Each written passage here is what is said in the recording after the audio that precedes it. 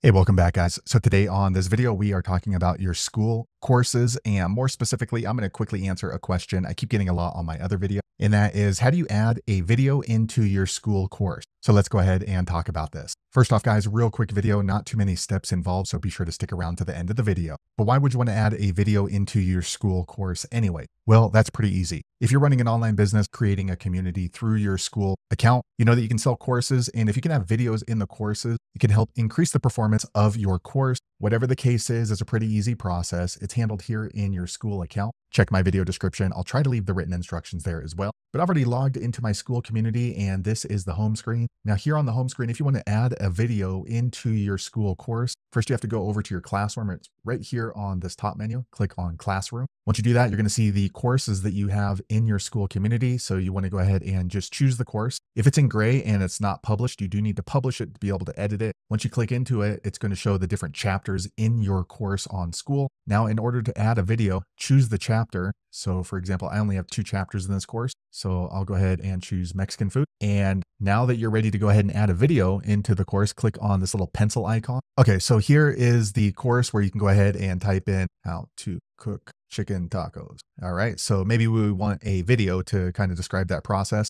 So the video that you're going to add in doesn't necessarily need to be your video, but the video has to be uploaded somewhere. If you look right here on the top right, you're to see this play button. Click on there and you can see that you just need to add a link to where that video is hosted. Oftentimes you're going to have that video already on YouTube, whether it's public or private, but you might be hosting on Vimeo, Loom, or Wistia. It doesn't really matter. You just need to add the link. So let me grab a video from my YouTube channel. Okay, I just grabbed a URL link from my YouTube channel. Let me jump back over. Okay, so here I am back in my course. And in order to add a video into your Skool course, just paste the link right here and then click on add. And as you can see, the video just gets added right into the course. All right, so it doesn't take effect until you click on save. Okay, now the video is then added into my course on Skool. So now anyone who takes this course is going to see this video in this section of the course. And you can do that for every section or some sections. It's really up to you. So there you have it, guys. If you're wondering how to add a video into your Skool community course, that's the easiest way I know how to do it. If you know an easier way, be sure to leave a comment below. Let the rest of us know how you did it. Hopefully you found that video useful. If so, click thumbs up or maybe consider subscribing to my channel and I hope to see you on the next video. Thanks again for watching.